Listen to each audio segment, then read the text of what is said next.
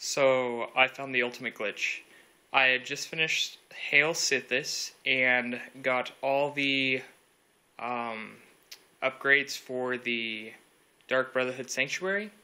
And as I was walking around, I fell through the floor and ended up here, where I can walk out into the open air of nothing land.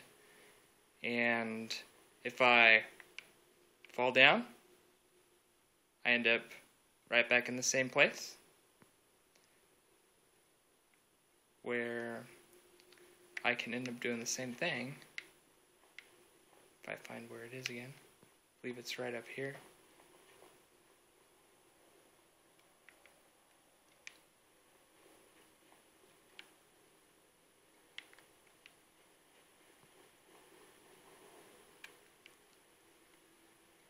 Yep.